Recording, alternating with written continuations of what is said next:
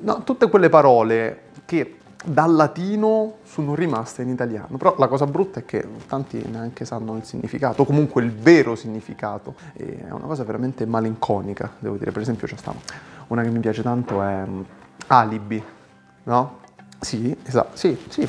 Normalmente si utilizza no, nel corso di un'indagine quando qualcuno presenta un alibi, che tante volte è un alibi di ferro, che sostanzialmente testimonia il fatto che lui si trovasse nel momento in cui è stato effettuato un delitto da un'altra parte. E invece la parola alibi, da latino, ha proprio questo significato, vuol dire altrove, vuol dire da un'altra parte. Non lo sapevi? Eh, eh, appunto, appunto, no? cioè anche io, eh, sono cose, poi sono cose sostanzialmente che ti prendono in testa, eh, per dire, sono estremamente affascinanti per me. È per questo che dico sempre che questa lingua ha un vero e proprio potere. Uno dei grandi poteri del latino è proprio questo. C'è una sorta di magia nelle parole, magia che fa sì che queste parole rimangano anche oggi e che abbiano molto credito. Le parole latine godono di molto prestigio. E poi ci sono le espressioni, ci sono tante tante espressioni molto carine. Eh, per esempio, qui devo ringraziare la mia professoressa del terzo anno, che diceva sempre, quando ad un compagno particolarmente discolo, ma tu farai i compiti, quando li fai i compiti? Alle calende greche ci sentiamo per l'interrogazione. Questa era molto molto interessante perché le calende greche, che di fatto non, esistono, è un'espressione del calendario romano, eh, vuol dire proprio mai. Eh, esatto, sì, potresti, potresti, trovarti a dire a qualcuno che ci prova con te, quando ci mettiamo insieme alle calende greche, tranquillo. Capisci? Vedi, sono modi molto più, perché poi trasmettono, al di là del significato, trasmette proprio una, un'aura molto molto carina all'atmosfera comunicativa che hai. È qualcosa di cioè, assurdo, veramente incredibile. Per Angusta, per Augusta rende meglio. Cioè, permettimi, dai, permettimi di dirti che rende molto molto meglio, no? perché ricorda Augusto, tutto, e quindi si sblocca no? tutto il nostro priming imperiale ricordando la figura dell'imperatore, è molto molto figo. Altra espressione che mi colpì tanto è ad eternum vale, lo diceva sempre il professore nostro. Del... sì, sì, è... non so neanche se sta ancora più in facoltà, è quello de- del recupero di latino all'università. Ogni volta che finiva la, la lezione, sempre Aeternum Vale. Era bellissimo, soprattutto per il fatto che non ci dava il significato completo, perché questa espressione vuol dire addio per sempre. Mi veniva in mente sempre con la cioè, album, album, giusto? L'album, sì, comunque quello che utilizziamo dei ricordi, che per noi insomma. Album inizialmente ha una storia, la storia di questo termine è molto lunga ed estremamente affascinante. Esatto, bianco, bianco, esatto. L'albo, no? L'albo delle cose. È sempre, no, torniamo sempre lì, bianco a livello di foglio, no? Il foglio bianco, inteso proprio come un libro bianco in cui poter inserire qualcosa. Ecco che noi, vedi, noi abbiamo proprio traslato questo significato e da noi è passato a significare l'album in cui apporre le foto piuttosto che degli inserti o altre cose. Eh, molto carino, però sostanzialmente vuol dire bianco, cioè vedi come, come si ingigantiscono poi i significati no? nella loro traduzione nel futuro anche pensare il fatto che le parole, le stesse parole che stiamo dicendo nel nostro dialogo, per l'appunto dialogo, esatto, cioè ci pensi mai? Le parole che noi pronunciamo, che scriviamo, hanno centinaia e centinaia di anni e di significati. Com'era quell'altra, quella che diceva sempre la professoressa? Sì, tutti, non è un caso che tutte le professoresse abbiano trasmesso questi tesori, perché sono, sono veramente tesauri questi, eh? ti giuro, sono cose che poi il bello è che te ne rendi conto a posteriori, mai a priori. Beati monoculi in terra cecorum. Beati coloro che vedono con un solo occhio nella terra dei ciechi. Nel mondo digitale vale anche, eh, devo dire, cioè si sono aperti molti, al di là del mondo digitale che è assolutamente un luogo che di fatto nasce molto molto prima, c'è sempre stato, insomma, le situazioni in cui possiamo primeggiare se gli altri non sanno, ci sono sempre state. Poche persone le hanno colte. Altre espressioni carine che posso dirti, beh, sicuramente quelle più famose, dai, Carpe Diem, questa non ha neanche bisogno di andare, quella è rimasta proprio, è una delle più famose, anche a livello cinematografico e non nei pensieri di tutti, questo devo essere molto molto sincero.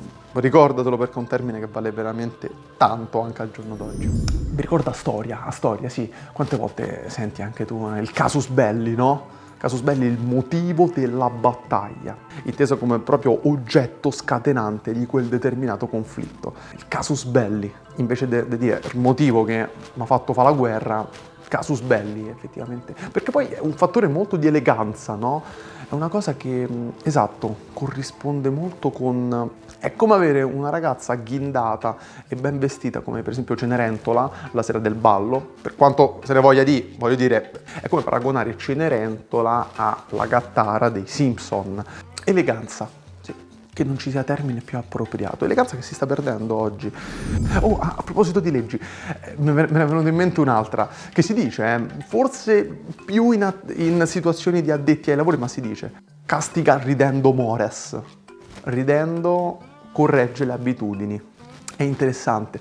Eh, quando abbiamo un leader, molto carismatico anche, che riesce a correggere le fluttuazioni che non vuole vi siano nel suo contesto, ma in maniera molto morbida. È molto molto interessante e a volte può fare la differenza. E nei contesti aziendali più piccoli e nei contesti, per esempio, in cui nacque questo termine di governo vero e proprio. È molto molto interessante. Questa è bellissima, questa è bella. Quando finisce un tutto, consumatum est, tutto è finito, tutto è consumato, consumato a livello di ho carpito tutta la sostanza da quel qualcosa e adesso è quasi polverizzato. Loro lo intendevano in questo senso. A me spiace dirlo, ma in italiano non, veramente molta magia di queste cose si è persa. Come dico sempre, le parole parlano e ci parlano di cose molto molto belle. Il problema è che noi siamo così abituati ad utilizzare termini, a non assaporare quel gusto verbale che a volte perdiamo tutta la meraviglia che si nasconde dietro una pagina ben scritta o un discorso ben pronunciato. Eh, coram populo, coram populo si dice, quando si fa qualcosa sotto gli occhi di tutti. Credo qui absurdum. Quest'altro anche è bello, molto molto carino. È una cosa un po' più spirituale, però anche qui il significato è carino. Credo qui absurdum. Brava, esatto, esatto, già, già l'hai capito, no? Credo poiché è assurdo, ci credo ciecamente, anche se è assurdo. Queste sono cose un po' che no, ricordano un po' i martiri, un po' a livello di San Tommaso, no? anche se lì siamo in un contesto proprio diverso. Però il campo semantico è quello. Quando tu credi in una maniera incredibile a qualcosa, quasi presti un atto di fede, no? fai un leap of faith, fai un salto della fede in quel qualcosa. Ci credi anche se assurdo, a volte proprio perché è assurdo, ecco, quando vuoi magari giustificare ai tuoi genitori o ai tuoi amici o anche semplicemente a te stesso un qualcosa, ecco, puoi dirti questa frase, credo qui absurdum, de gustibus non disputandum est, poi questa, vabbè, quella, soprattutto nei banchi di scuola, questa si sa, la sanno tutti ormai, eh? Sui gusti non c'è da discutere, i gusti, molte volte è brutto il fatto, è malinconico il fatto che molte persone dicano solo de gustibus, no? Eh, sempre no, le storpiature, o il fatto semplicemente che si scordano le espressioni semplici, no, diciamolo tutto, de gustibus non disputandum est, ma per quanto sia un'espressione di cui a volte anche il significato non è ben inteso, è vero, nasconde un fondo di verità e oggi si dice tanto, tanto, tanto. Questo perché? Perché siamo in, in un'epoca molto liberale, molto impersonale, molto flessibile a livello di gusti personali. Ecco, una cosa molto interessante che devi ricordare che le parole che dici, così come le espressioni che utilizzi di più, ti sono state insegnate o comunque tu hai avuto modo di assorbirle in maniera così capillare perché? Perché la società in cui viviamo, la cultura in cui viviamo ha supportato l'utilizzo non di quelle espressioni, un'espressione di fatto non esiste, è un'idea, una, un'idealità che viene compressa sotto forma di suoni che per noi rappresentano un significato che ci consentono di comunicare, mettere insieme no? i significati, i nostri punti di vista.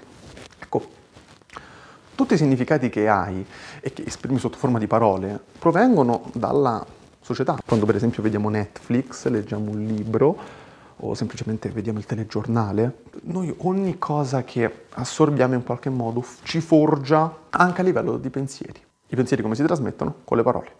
Ecco, tutto questo per dirti che forse dovremmo riscoprire i termini latini. Così. Ecco, tutto questo per dirti che per me questa lingua è molto potente soprattutto per questo. E forse ce la insegnano a scuola proprio per questo, per fare una, una sorta di pulizia mentale se non totale, comunque parziale, per creare uno spazio in cui mettere dentro le cose che vogliamo. È un discorso molto complesso, su questo penso ci torneremo, ma veramente il latino ci dà un significato.